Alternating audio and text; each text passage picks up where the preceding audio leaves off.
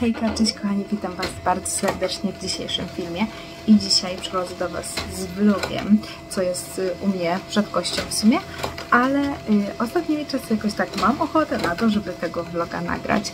Jeśli chodzi o to, co słyszycie z tyłu, to jest to drukarka, która aktualnie działa i drukuje mi moje plany posiłków. Także zaraz Wam pokażę, jak to wygląda, e, a ogólnie filmik sam w sobie jest dzisiaj o moich właśnie planach posiłków, to jak wygląda właśnie taki cały schemat tworzenia tego planu i ogólnie robienia tego wszystkiego, czyli po prostu plan posiłków, lista zakupów i ogólnie robienie tych zakupów. Także serdecznie zapraszam Was do oglądania. Ok, kochani, wybaczcie za to, jak to wszystko wygląda, czyli um, ja jestem dość tutaj taka ciemna, nie wiem czemu, w sumie chyba dlatego, że za mną jest światło, słońce, mm, ale ogólnie wydrukowałam właśnie te plany. Ogólnie rzecz biorąc te plany są e, taką ewolucję przechodzą, to znaczy ja staram się je dostosować do tego, jak aktualnie wygląda nasze żywienie. No i aktualnie wygląda ono w ten sposób, że jemy po prostu mniej posiłków. No i na początku miałam tutaj tak naprawdę podzielone to na 5 posiłków, aktualnie są to 3 posiłki plus przekąska, więc y, ogólnie to jest on ewoluowany z każdego y, jakby za każdym razem. Mam ich tutaj wydrukowanych aktualnie 15, sobie tak to drukuję, żeby było więcej po prostu. Jeśli chodzi o sam ten plan, jest on bardzo, bardzo prosty. Ja go zrobiłam w kanwie w dosłownie kilka minut. To tak, tutaj mamy tydzień, mam sobie rozpisuję zawsze tutaj datami, jaki to jest tydzień. Dzień tygodnia sobie po prostu wypisuję tutaj poniedziałek, wtorek, środa i tak dalej.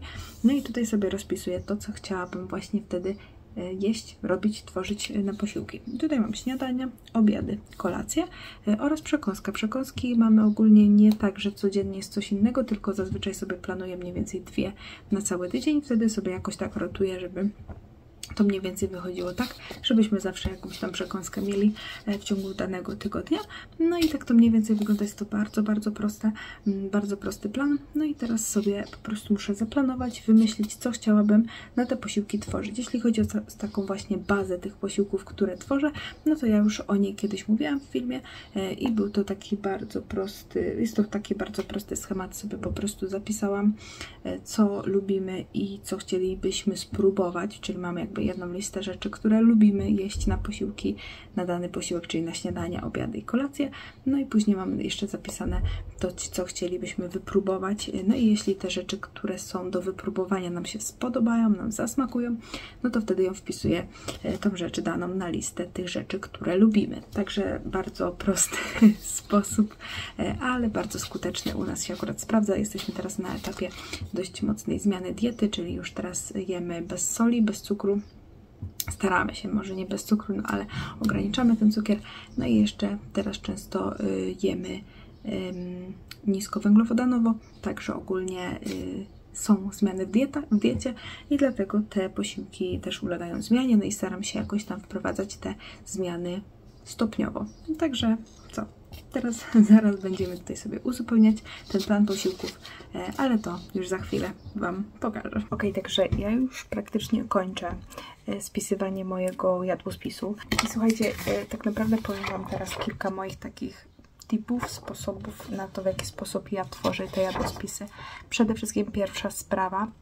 Ten jadłospis jest akurat na tydzień, kiedy ja jestem w domu, więc troszeczkę inaczej wyglądają te obiady niż jakby wyglądały, jak będziemy wiecie, w pracy wszyscy. E, ogólnie rzecz biorąc, tak, kilka rzeczy, które tutaj, jak widzicie, się powtarzają. Czyli to jest mój pierwszy sposób, że po prostu jeśli robię na przykład, nie wiem, kolacje, obiady, śniadania, często to się, różne posiłki to są, to sobie robię na przykład na dwa dni. Często robię coś takiego, że po prostu nie muszę dzięki temu gotować codziennie. To jest po prostu błogosławieństwo. Pierwsza sprawa to jest właśnie robienie sobie czegoś i e, zostawienie na następny dzień, żeby było jakby więcej gotuję i wtedy mam na dwa dni. Druga sprawa, jak na przykład mam jakieś takie różnego rodzaju kotlety mielone, e, czy jakieś takie różne inne rzeczy, to często jak mi zostaje mrożę, mam na następny dzień, na następny jakiś posiłek, na przykład w następnym tygodniu. E, sos ze spaghetti, e, zupy różnego rodzaju, jeśli zostają, no to wtedy mm, mrożę i jak najbardziej mi się to sprawdza. Super.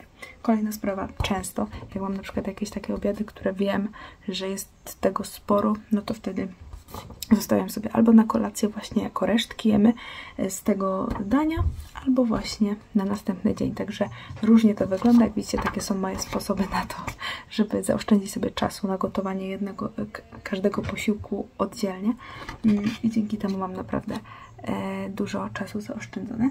Dodatkowo właśnie jak widzicie, e, no tutaj mamy takie posiłki. Poza tym mam właśnie dwie przekąski. Jeden to jest pudding chia i brownie z, z cukinii. I jeśli chodzi o właśnie pulę tych posiłków, to tak pierwszy mój sposób szukania różnego rodzaju fajnych przepisów to jest chat GBT. Często wpisuję sobie właśnie to, jakich posiłków szukam, na przykład low carb, albo jakichś posiłków pod daną e, schorzenie, które mamy, czy na przykład posiłków dla osoby, która nie lubi jeść smaku warzyw i wyglądu warzyw, no bo taką tutaj właśnie mam e, w domu, także po prostu w różny sposób to zapisuję sobie, jadłospisy, pomysły na śniadanie, pomysły na śniadania do pracy, no różnie to zapisuję, spisuję sobie to później do notatnika w telefonie i mam dużą bazę różnego, różnych ciekawych posiłków. Drugi sposób, który szukam, to są po prostu jakieś, wiecie, randomowe y, Instagramy i tak dalej, filmiki jakieś, co mi się y, akurat pojawią i mi się spodobają, to sobie też spisuję właśnie wtedy to, te, te, te pomysły do notatnika w telefonie, bo to jest moja taka baza i zdecydowanie łatwiej mi się to robi.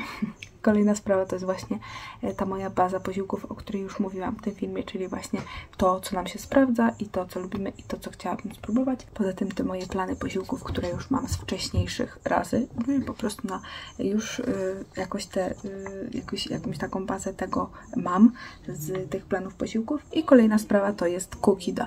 Ja często korzystam z Thermomixa mm, z moimi przepisami właśnie i dzięki temu, że mam te Cookidu, to mogę sobie szukać różnego rodzaju fajnych, ciekawych przepisów, szczególnie właśnie takich nowych smaków, które chcielibyśmy poznać, to wtedy szukam właśnie tam i e, te przepisy sobie robię na siebie, pod siebie i tak jak nam będzie pasować. No a jeśli chodzi o sam sobie jadłospis, no to tutaj macie właśnie, jeśli chodzi o śniadania, to mamy tak zaplanowany omlet warzywny, taki ala fritata, coś takiego. Nie wiem, co mi z tego wyjdzie, bo chciałabym zmiksować albo chociażby zetrzeć te warzywa. Zobaczymy. Kanapka z nutellą z awokado to jest, ja już ją zrobiłam, tą nutellę jakiś czas temu do tego trzeba ją zużyć. Tam jest po prostu awokado, banan, trochę miodu ym, i kakao i masło orzechowe chyba. Mafiny jajeczne z warzywami, no to też właśnie coś takiego. I tutaj mamy po raz kolejny te warzywne mafiny. Tutaj mamy placuszki z cukinii, y, z serkiem śmietankowym takim kozim, bo jeszcze go mam i trzeba go zużyć.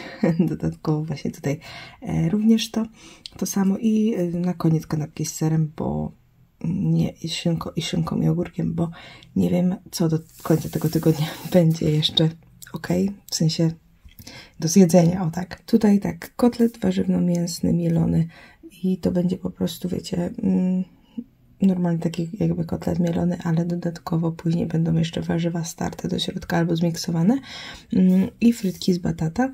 Gulasz z kurczakiem, tutaj też chciałabym właśnie tak, wiecie, jakieś papryki, jakieś ce cebuli, jakieś takie różne rzeczy i to zmiksować, żeby było coś fajnego i do tego kasza greczana, bo ostatnio odkryłam, że Kamil zje kaszę greczaną, także Y, kolejny, kolejna fajna kasza, która ma dużo w sobie błonnika, także jak najbardziej tak. Mm, hamburger XXL to jest y, z Thermomixa. Y, bardzo nam on smakuje. Ja do niego zawsze dodaję jakieś dodatkowo właśnie um, troszeczkę warzyw, um, także jak najbardziej spoko. Ja sobie do tego zrobię jeszcze surówkę z marchewki i pora, no i resztki jemy na kolację. To jest zupa gołąbkowa plus ryż biały Zobaczymy, co z tego wyjdzie, bo jeszcze tego nie robiłam, także się okaże dopiero. Tutaj jakiś taki totalny random, y, czyli chciałabym spróbować ziemniaczki z twarogiem, zrobić takie, wiecie, wiecie, takie ziemniaczki młode i do tego twaróg albo serek wiejski, jeszcze do końca nie wiem. I Kamil będzie miał takie same, tylko że pieczone z serem, takie rozgniecione i ser poproszony na górze. Zobaczymy, czy mu zasmakuje. To jest również z Thermomixa kurczak z warzywnym ryżem. I ten, tutaj warzywa też są niby, one są tutaj takie delikatnie podmiksowane, żeby zrobiły się takie, wiecie, ale dalej wyczuwalne. No i ja je muszę zmiksować do końca. Nie dla siebie, dla Kamila, ja sobie zrobię tylko tak, wiecie, delikatnie podmiksowane. Zobaczymy, co z tego będzie po raz kolejny. No I tutaj szaszłyki. E, ja sobie zrobię takie bardziej mięsno-warzywne, Kamilowi bardziej mięsne, czyli tam będzie po prostu dla niego mm, kurczak, kiełbasa, e, no i on będzie miał z cebulą, ale raczej wydaje mi się, że on tej cebuli nie zje, tylko po prostu y, będę musiała mu dodać jakiegoś ogórka dodatkowo oddzielnie, mm, w sensie obok, żeby sobie zjadł surowego czy kiszonego. Zobaczymy. I resztki są na kolację. Jeśli chodzi o kolację właśnie, to tutaj mamy y, ryżowe naleśniki z musem jabłkowym. To też jest przepis y, z tym razem z czatu GBT. Zobaczymy. Mm, czy to wyjdzie. To będzie chyba ogólnie mąka ryżowa tutaj wykorzystana, ale ja nie mam mąki ryżowej, więc sobie ryż po prostu zmiksuję w termomiksie. Y, nie wiem, to będzie eksperyment, ale y, ciekawy. Zobaczymy. I to będzie powtórzone na kolejną kolację. Tutaj mamy resztki, tutaj mamy bułki serowe z Thermomixa, które są keto, hmm, low carb, low carb w sumie bardziej, tak jak tu piszę, więc y, no zobaczymy. Mm, I do nich nie wiem, co zrobię, czy tam będzie jakaś jajecznica, czy jakieś po prostu jako kanapki, to się okaże. Tutaj będą sandwicze, to są po prostu takie, nie wiem, czy wiecie, co to jest? po prostu takie zapiekane bułki, kanapki mm, z jakimiś dodatkami w środku mm, w takim opiekaczu. Tutaj jajecznica ze zmiksowanymi warzywami, to też nie wiem, jeszcze nie robiłam, e, co to będzie. No i szaszłyki, tutaj będą resztki. No i tutaj, słuchajcie, przekąski, jeśli chodzi na, ty na ten tydzień, to będzie brownie z cukinii i pudding chia. Takie są plany. Zobaczymy, co z tego wyjdzie. A teraz po prostu muszę zrobić z tego wszystkiego listę zakupów. Jak to robię? No po prostu przechodzę przez każdy z tych punktów i sobie spisuję, jakie składniki potrzebuję. Hmm, sprawdzam to, co mam już w lodówce, to co mam w szafkach. Jeśli tego nie mam, no to wtedy wiadomo, że spisuję na listę zakupów, które muszę poczynić w tym tygodniu. Ok, jest kolejny dzień. Ja jeszcze nie do końca jestem ogarnięta, także wybaczcie za to, jak wyglądam. Ale słuchajcie, y, Filip jeszcze śpi, więc postanowiłam to do końca nagrać. E, ten początek tego filmu w sumie. Więc tak, ja aktualnie jestem po zrobieniu listy już zakupów. Mm, lista zakupów prezentuje się w ten sposób. Niekiedy jak jestem taka fancy i mam na to czas, tak jak dzisiaj na przykład, robię sobie tę listę w sposób taki, jak jest ułożony sklep, czyli najpierw zaczynam od warzyw i owoców, potem przechodzę przez e, przyprawy, jakieś e, rzeczy zbożowe typu tortille i tak dalej. Jeśli mam coś takiego w planach, potem przechodzę przez e, konserwy, potem jakieś takie, wiecie, typu musiki dla Filipa, czy batony proteinowe, jeśli planuję kupić. Później są e, sery i wszystkie rzeczy w lodówkach. Potem są rzeczy typu mleka roślinne, jakieś proszki do pieczenia mąki, kasze, makarony i tak dalej. No i na końcu są e, jeszcze e, takie rzeczy typu orzeszki i tak. Także w ten sposób zrobiłam, zrobiłam tę listę zakupów. E, teraz będę się ogarniać do wyjścia z Filipem, a później jak już będę na zakupach, to miejcie, miejmy nadzieję, że uda mi się cokolwiek nagrać razem z nim na tych zakupach. Jadę do netto, tak a propos. No i to wszystko. Mała zmiana planów. E, z tego względu, że moje dziecko w trakcie, w połowie drogi tak naprawdę do sklepu stwierdziło, że ono jednak chce zostać dzisiaj e, z babcią, a nie Y, jechać ze mną do sklepu. No więc ostatecznie zostało ono wywiezione po prostu do moich rodziców.